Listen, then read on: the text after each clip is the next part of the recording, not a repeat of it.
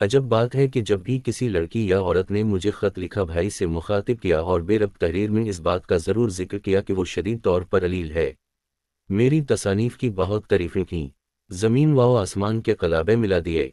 मैं ऐसी लड़कियों और औरतों के खतूत का उमूमान जवाब नहीं दिया करता, लेकिन बाज़ अवकात दे भी दिया करता हूँ, आखिर इंसान हूँ। ख़त अगर बहुत ही दर्दनाक हो तो इसका जवाब देना इंसानी फ़राइज़ में शामिल हो जाता है। पिछले दिनों मुझे एक ख़त मौसू हुआ, जो काफ़ी लंबा था। इसमें भी एक खातून ने जिसका नाम मैं ज़ाहिर नहीं करना चाहता, ये लिखा था कि वो मेरी तहरीरों की शदाई है, लेकिन एक अरसे से बीमार है। इसका खावनत भी दाइम मरीज़ है। इसने अपना ख्याल ज़ाहिर किया था कि जो बीमारी उसे लगी है, उसके खावनत की वजह से है। मैंने इस खत का जवाब ना दिया, लेकिन उसकी तरफ़ से दूसरा खत आया, जिसमें यह गिला था कि मैंने उसके पहले खत की रसीद तक ना भेजी। चुनाचे मुझे मजबूरा इसको खत लिखना पड़ा। मगर बड़ी एहतियात के साथ। मैंने इस खत में इससे हमदर्दी का इजहार किया। इसने लिखा था कि वो और भी ज़्यादा अलील हो गई है और मरने के करीब है, ये पढ़कर मैं बहुत मुतासर हुआ था। चुनाचे उसी तासुर के मातहत मैंने बड़े जज्बाती अंदाज में उसे ये ख़त लिखा और इसको समझाने की कोशिश की कि ज़िंदगी ज़िंदा रहने के लिए है, इससे मायूस हो जाना मौत है। अगर तुम खुद में इतनी कुत इरादी पैदा कर लो तो बीमारी का नाम वो निशान तक न रहेगा। मैं पिछले दिनों मौत के मुँह में था। सब डॉक्टर जवाब दे चुके थे। लेकिन मैंने कभी मौत का ख्याल भी नहीं किया। नतीजा इसका ये निकला कि डॉक्टर हैरत में गुम होकर रह गए और मैं अस्पताल से बाहर निकल आया। मैंने उसको ये भी लिखा कि क़वत इरादी ही एक ऐसी चीज़ है जो हर नामुमकिन चीज़ को मुमकिन बना देती है। तुम अगर बीमार हो तो खुद को यकीन दिला दो कि नहीं तुम बीमार नहीं, अच्छी भली तंदुरुस्त हो। मेरे इस ख़त के जवाब में उसने जो कुछ लिखा इससे मैंने ये नतीजा अख्स किया कि इस पर मेरे वज़ह का कोई असर नहीं हुआ। बड़ा तवील ख़त था। पाँच सफ़ों पर मुश्तमिल इसकी मंतिक और इसका फ़लसफ़ा अजीब कस्म का था। वो इस बात पर मिस्र थी कि खुदा को ये मंजूर नहीं कि वो ज़्यादा देर तक इस दुनिया में ज़िंदा रहे। उसके अलावा इसने ये भी लिखा था कि मैं अपनी ताज़ा किताबें उसे भेजूं। मैंने दो नई किताबें उसको भेज दी।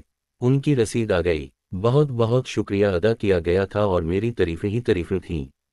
मुझे बड़ी कौफत हुई। जो किताबें मैंने उसको भेजी थीं, मेरी नज़र में उनकी कोई वक़्त नहीं थी। इसलिए कि वो सिर्फ़ हर रोज़ कुछ कमाने के लिए लिखी गई थीं। चुनाचे मैंने उसे लिखा कि तुमने मेरी दो किताबों की जो इतनी तारीफ़ की है, गलत है ये किताबें महज बकवास है, तुम मेरी पुरानी किताबें पढ़ो इसमें तुम पूरी तरह मुझे जलवा गिर पाओगी। इसका जवाब तीसरे रोज आ गया कि मुझे प्यारे भाई जान से मुखातिब किया गया था। उसने मेरी पुरानी तसनीफात मंगवा ली थीं और वो इन्हें पढ़ रही थी। लेकिन बीमारी रोज बरोज बढ़ रही थी, उसने मुझसे पूछा कि वो किसी हकीम का इलाज क्यों ना कराए, क्योंकि वो डॉक्टरों से बिल्कुल नाउमीद हो चुकी थी। मैंने उसे जवाब में लिखा, इलाज तुम किसी से भी कराओ। ख्वाह, वो डॉक्टर हो या हकीम, लेकिन याद रखो, सबसे ज़्यादा अच्छा मुआलिज खुद आदमी आप होता है, अगर तुम अपनी जहनी परेशानियाँ दूर कर दो तो चंद रोज में तंदुरुस्त हो जाओगी। मैंने इस मौजू पर एक तवील लेक्चर लिखकर उसको भेजा। एक महीने के बाद इसकी रसीद पहुँची, जिसमें यह लिखा था कि उसने मेरी नसीहत पर अमल किया। लेकिन खातिर ख्वाह नतीजा बरामद नहीं हुआ और ये कि वो मुझसे मिलने आ रही है दो तीन रोज में हैदराबाद से बम्बई पहुँच जाएगी और चंद रोज मेरे यहाँ ठहरेगी। मैं बहुत परेशान हुआ, छुड़ा छटांग था, मगर एक फ्लैट में रहता था, जिसमें दो कमरे थे। मैंने सोचा, अगर ये मोहतरमा आ गई तो मैं एक कमरा उनको दे दूँगा, इसमें वो चंद दिन गुजारना चाहें, गुजार लें, इलाज का बंदोबस्त भी हो जाएगा। इसलिए कि वहाँ का एक बड़ा हकीम मेरा बड़ा मेहरबान था। छह रोज तक आप ये समझिए कि मैं सूली पर लटका रहा। अखबार वाले ने दरवाजे पर दस्तक दी तो मैं ये समझा कि वो मुहतरमा तशरीफ़ ले आए।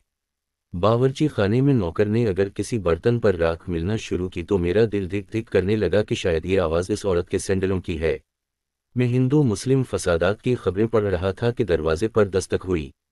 मैं ये समझा कि दो वाला है। चुनाचे मैंने नौकर को आवाज़ दी। देखो रहीम कौन है। रहीम चाय बना रहा था, वो उबलती हुई कैतली को वहीं चौले पर छोड़कर बाहर निकला और दरवाज़ा खोला। थोड़ी देर के बाद वो मेरे कमरे में आया और मुझसे मुखातिब होकर कहा, एक औरत आई है। मैं हैरत ज़दा हो गया। औरत। जी हाँ एक औरत बाहर खड़ी है, वो आपसे मिलना चाहती है।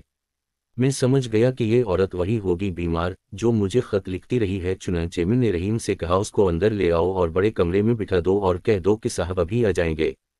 अलामत तमलीक अलामत तमलीक जी अच्छा ये कहकर रहीम चला गया। मैंने अखबार एक तरफ़ रख दिया और सोचने लगा कि ये औरत किस कसम की होगी। दिक की मारी हुई या फालिज सदा मेरे पास क्यों आई है? नहीं मुझसे मिलने आई है। गालिबन यहाँ किसी तबीब से अपना इलाज कराने आई है। मैं उठा और गुसल खाने में चला गया। वहाँ देर तक निहाता रहा और सोचता रहा कि ये औरत जो उसको इतने लंबे चौड़े खत लिखती रही और जिसको कोई खतरनाक बीमारी चमटी हुई है, किस शक्ल व सूरत की होगी? बेशुमार शक्लें मेरे तस्वुर में आए पहले मैंने सोचा अपाहिज होगी और मुझे इसको कुछ देना पड़ेगा। इत्तेफाक की बात है कि तीन तारीख थी जब वो आई।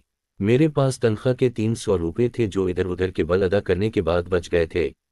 इसलिए मेरी परेशानी में इजाफा न हुआ। मैंने निहाते हुए ये फैसला कर लिया कि अगर उसे मदद की ज़रूरत है तो मैं उसे एक सौ रुपये दे दूँगा। लेकिन फ़ौरन मुझे ख्याल आया कि शायद इसको देखो और मुझे इसको हस्पताल में दाखिल कराना पड़े। ये काम कोई मुश्किल नहीं था, इसलिए कि मेरे कई दोस्त जय जय अस्पताल में काम करते थे। मैं उनमें किसी एक से भी कह दूँ कि इस माजूर औरत को दाखिल कर लो तो वो कभी इनकार ना करेंगे।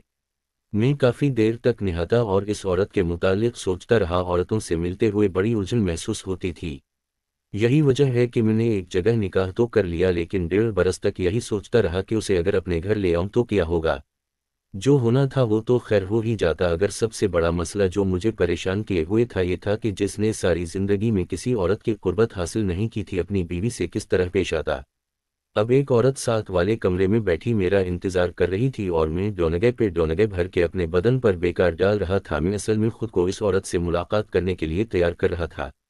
काफ़ी देर नहाने के बाद मैं गुसल खाने से बाहर निकला, कमरे में जाकर कपड़े तब्दील किए, बालों में तेल लगाया कंगी की और सोचते सोचते पिलिंग पर लेट गया। चंद दिन के बाद रहीम आया और उसने मुझसे कहा, वो औरत पूछती है कि आप कब फारिग होंगे? मैंने रहीम से कहा, उनसे कह दो, बस पाँच मिनट में आते हैं। कपड़े तब्दील कर रहे हैं। रहीम, जी अच्छा। कहकर चला गया। मैंने सोचा कि अब और ज़्यादा सोचना फजूल है, चलो उससे मिल ही लें। इतनी खतवाओ किताबत होती रही है और फिर वो इतनी दूर से मिलने आई है, बीमार है। इंसानी शराफत का तकाजा है कि इसकी खातिरदारी और दिल जोई की जाए। मैंने पिलिंगा पर से उठकर स्लीपर पहने और दूसरे कमरे में जहाँ वो औरत थी दाखिल हुआ। वो बुरका पहने थी मैं सलाम करके एक तरफ़ बैठ गया। मुझे इसके बुरक़े के सियाह नकाब में सिर्फ़ इसकी नाक दिखाई दी जो काफ़ी तैखी थी। मैं बहुत उलझन महसूस कर रहा था कि इससे क्या कहूँ। बहरहाल मैंने गुफ्तगु का आगाज़ किया।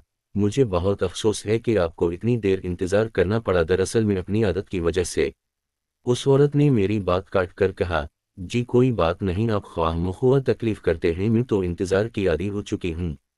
अलामत तमलीक अलामत तमलीक मेरी समझ में कुछ ना आया, मैं क्या कहूँ? बस जो लफ्ज जबान पर आए, उगल दिए, आप किसका इंतज़ार करती रही हैं? उसने अपने चेहरे पर नकाब थोड़ी सी उठाई। इसलिए कि वो अपने नन्हे से रुमाल से अपने आँसू पहुँचना चाहती थी। आँसू पहुँचने के बाद उसने मुझसे पूछा, आपने क्या कहा था मुझसे? उसकी थोड़ी बड़ी प्यारी थी जैसे बनारसी आम की कैसरी। जब इसकी नकाब उठी थी तो मैंने उसकी एक झलक देख ली थी। मैं तो उसके सवाल का जवाब ना दे सका इसलिए कि मैं इसकी थोड़ी में गुम हो गया था। आखिर उसे ही बोलना पड़ा, आपने पूछा था तुम किसका इंतज़ार करती रही हो जवाब सुनना चाहते हैं आप। जी हाँ फरमाइए, लेकिन देखिए कोई ऐसी बात ना हो जिससे कनूतीत का इजहार हो। उस औरत ने अपनी नकाब उलट दी। मुझे ऐसा महसूस हवा के काली बदलियों में चंद निकल आया है। इसने नेची निगाहों से मुझसे कहा, जानते हैं आप में कौन हूँ? मैंने जवाब दिया, जी नहीं। उसने कहा, मैं आपकी बीवी हूँ जिससे आपने आज से डेढ़ बरस पहले निकाह किया था। मैं आपको लिखती रही हूँ कि मैं बीमार हूँ। मैं बीमार नहीं, लेकिन अगर आपने उसी तरह मुझे इंतज़ार में रखा तो यकीनन मर भी जाऊँगी। अलामत तमलीक अलामत तमलीक मैं दूसरे रोज ही उसको घर ले आया। बड़े ठाट से अब मैं बहुत खुश हूँ। ये वाकया मुझे मेरे एक दोस्त ने सुनाया था।